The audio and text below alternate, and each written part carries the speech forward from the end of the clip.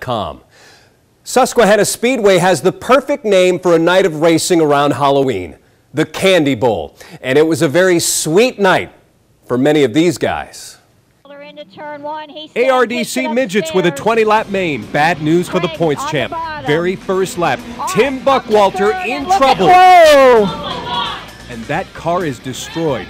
Last lap, Drew Heistand in front. Can Bruce Buckwalter pass him? No.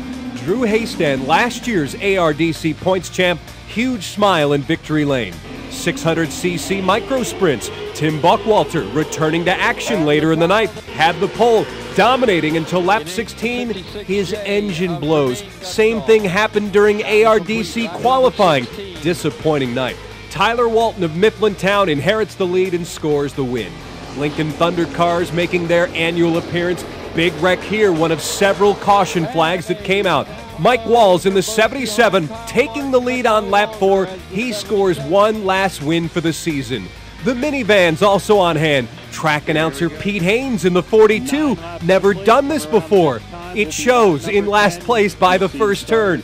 Zach Kittner scores the win in the minivan division. Chris Transo won the 20 lap Legends Cars feature. Jason Stahl won the Sidewinder Sprint feature.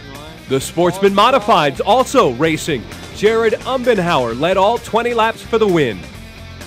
And guys, I have an offer to drive minivans this weekend. Are you going to do it? Do it. I think I'm going to do it. Oh, that'll be awesome. Yep. Finish. I'll finish last, but that's okay. Not Hey. necessarily. Okay. You get some How about, how about some We've speed. seen you drive last? some pretty mean See you in the parking lot minivans. out back. When have you seen me drive a minivan? I just Do I have like imagine this alter ego? I've never. I've been driven a minivan. Come We, on. we can picture it. We Yeah, can okay. picture it. All right. be Good right luck with that, Jason. Don't-